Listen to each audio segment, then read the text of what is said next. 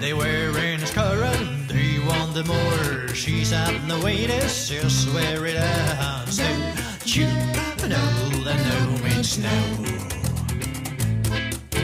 But he went on, this was his fault. She smiled at him while she got through through. Don't you know that no means no?